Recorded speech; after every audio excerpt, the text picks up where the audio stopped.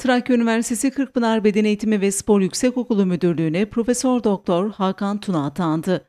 Törene Rektör Vekili Profesör Doktor Mümin Şahin, yeni müdür Profesör Doktor Hakan Tuna ve eski müdür Doçent Doktor İlhan Toksöz katıldı. Rektör Vekili Profesör Doktor Mümin Şahin törende eski müdür Doçent Doktor İlhan Toksöz'e hizmetlerinden ötürü teşekkür ederken yeni müdür Profesör Doktor Hakan Tuna'ya görevinde başarılar diledi. 24 Nisan 1968 Erzurum doğumlu Profesör Doktor Hakan Tuna, Gazi Üniversitesi Tıp Fakültesi mezunu.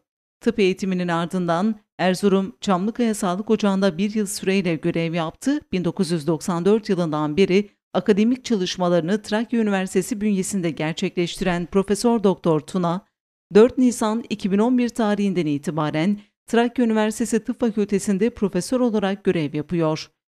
Profesör Doktor Tuna'nın Türkiye Fiziksel Tıp ve Rehabilitasyon Derneği, Romatizma Araştırma ve Savaş Derneği, Türkiye Osteoporoz Derneği ile Uzman Hekimler Derneği'ne üyeliği de bulunuyor.